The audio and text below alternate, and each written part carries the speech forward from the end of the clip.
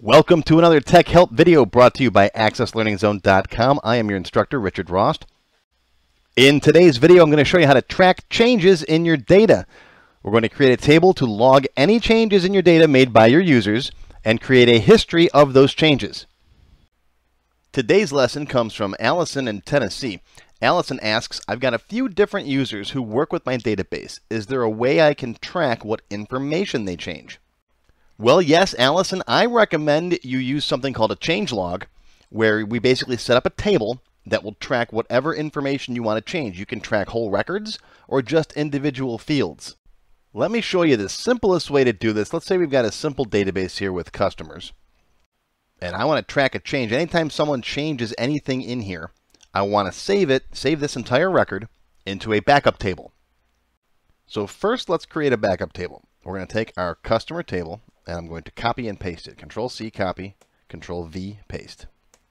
All right, let's call this customer change log T. And we're only going to copy the structure. We don't need all the data that's already in there. It's an empty table. Now, every time there's a change made to the customer table the, in the form, I want to copy that information, just append the record, append the record, append the record into this change log. We got to make one change in here. I'm going to actually make two changes. Let's go to Design View.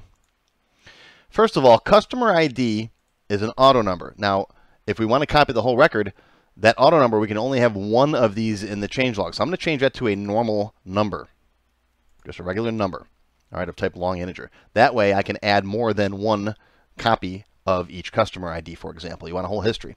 The next thing I'm going to do, I'd like to see it, like what date and time it was changed. So I'm going to add a field in here. Let's insert a row.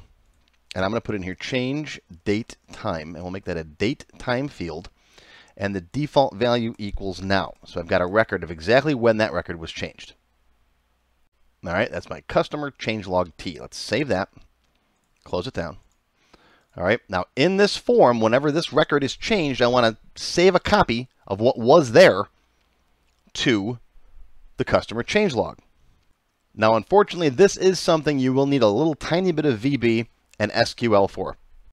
I tried doing it with just a normal append query and it doesn't work. But it's a real simple solution. Follow with me. Let's go into Design View for our customer form. Let's bring up the properties for the form. And let's find the before update event. Now, usually I do a lot with after update because after update lets you do stuff after you've made your changes and the data has been written to the table. But before update happens, when you're done making your changes, before the records are committed to the table. And that lets you do things like maybe check the data that was entered and cancel the event if you want to. Or you could do something like this, where we can save that information before it's committed to the table. All right, so click the dot, dot, dot button over here. You may get a window up next asking you what kind of builder you want. Pick the code builder. I had that turned off on my system. All right, so right here, we're in the form before update. We're going to put in a little bit of code. Now we're going to run an SQL statement. So it's going to be do command dot run SQL. And what is the SQL statement? Well, we're basically creating an append query. We're going to append data into the backup table that we just created, the customer change log. And yes, I checked to see if we could do this without SQL by just making a regular append query, and it really you can't really do it that way. So here we're going to go insert into customer change log T, select star from customer T, and then we need a where condition. So I'm going to continue this line down here on the next line, where customer ID equals customer ID, just like that. So this is the SQL equivalent of an append query. If you don't know much about append queries, I've got uh, a video on that. I'll put a link in the description below. Also, if you don't know SQL, I've got videos, tons of videos on SQL. It's it's it's very handy to learn SQL to, just to do simple things like this from inside your code. Plus, you don't have to have 10,000 different queries in your database to do lots of little stuff. You can just write one line of code like that. All right, so let's close that. And let's go back to our database here. Let's close this form. Save changes, yes. Let's open it up. And I'll change myself here from Ricky to Richard. All right, now if I move off this record or close the form, that event will run. Let's check our table. There it is. There's the old data. All right, it's got the date and time in there. It's got Ricky, which was the old data. And of course, the new data is Richard, and that's stored in the table. If I come back here and change it next after this and put my middle name in there, right? Now if I move to the next record, okay, I just got an error, and I decided to leave this in the video for you. What happened was it says one record due to key violations. All right. I'll hit OK. And then what's happening is I'll bet you I know what I forgot to do. All right. Yep. Right here. Customer ID. I changed it to a number, but I forgot to take the key off. I forgot to take the primary key off. See, I should have done that eh, before. I'll say no. And that will reset this so this is no longer the primary key. Let's turn the key off here too. There. This table really doesn't need a key field because this is just backup stuff. We're not doing anything really with this table. We're not relating it anywhere else. This is just so we have a log of what was changed. Now that I made that change, I should be able to come in here and put in here, let's just put Dennis in and move to the next record. Okay, there we go, good. Okay, and now it's saving all my changes. Yeah, I forgot a step earlier when we were working on this table. And I, I said to myself, should I go back and re-record that part of the video or just leave it in there? No, I'm going to leave it in there. That way you can see the error too. I make I make mistakes myself. I've been working with Access for almost 30 years. And I still make little goofs like that too, especially when I'm recording videos because I forget to, to do stuff. It's like when, you, when you're shooting hoops and you can make them every time and then you say, hey, watch this, and you're trying to show off. Well, and then you, you mess it up. Well, when I'm recording videos, sometimes I forget steps as I'm going along. All right, go to a different record here, James Kirk. Let's put in here Jim.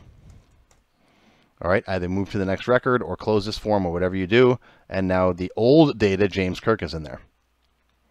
So this will tell you at least, okay, here's it was customer two was changed on this time and date.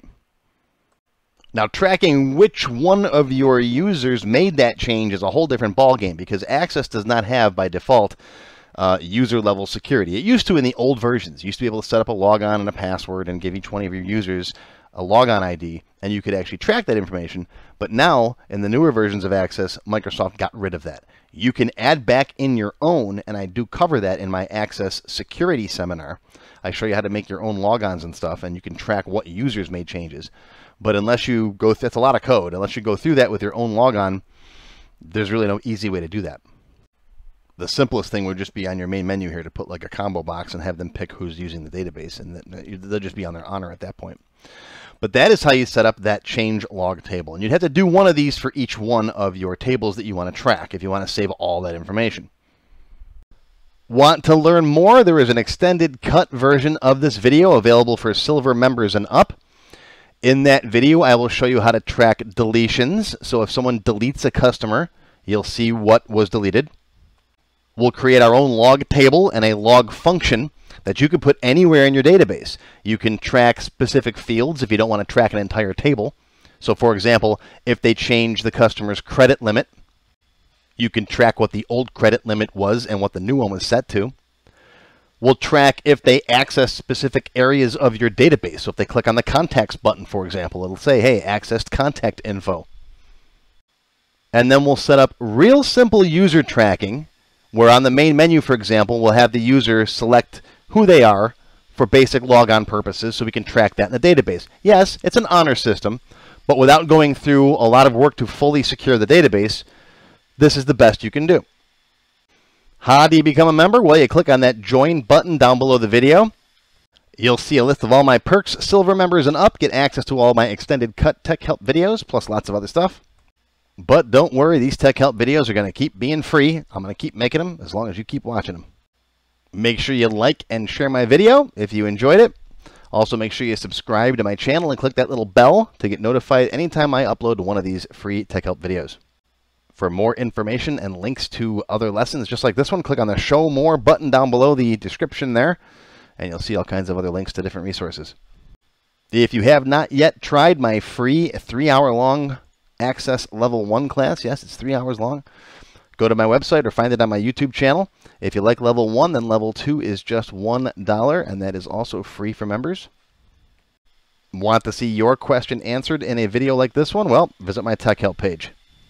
Thanks for watching, and we'll see you next time.